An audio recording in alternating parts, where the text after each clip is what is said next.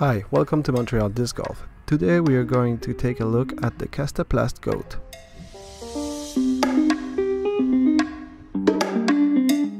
There was a little bit of tailwind, so the disc might fade a little more than without wind.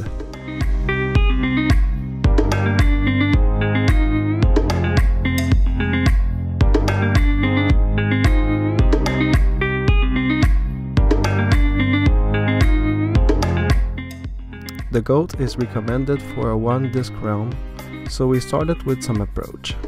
The hyzer finished left without any flip.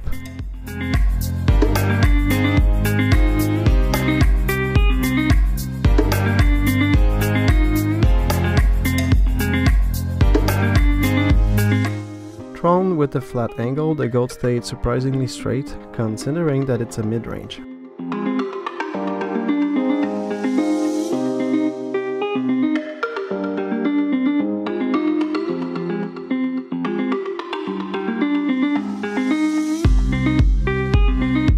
When we threw the disc with an hyzer angle, the disc finished right with almost no sign of fade.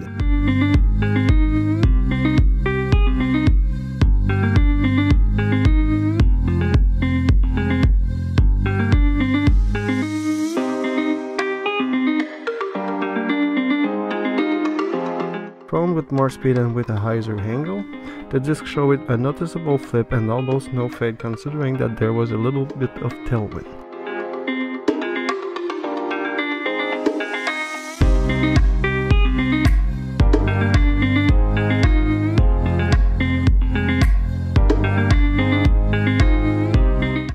With a flat angle, the disc flipped a little but stayed straight during the whole flight, which made us realize why the Göte is good for a one disc round.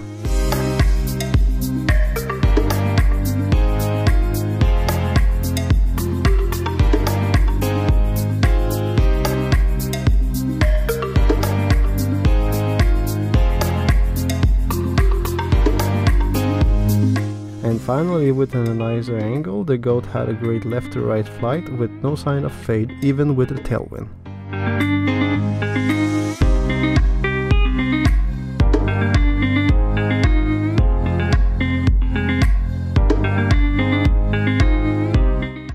In conclusion, the Göte is a great disc for beginner, but even for experienced player.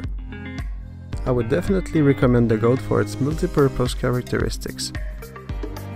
The K1 plastic is super durable with a nice combination of firmness and grippiness.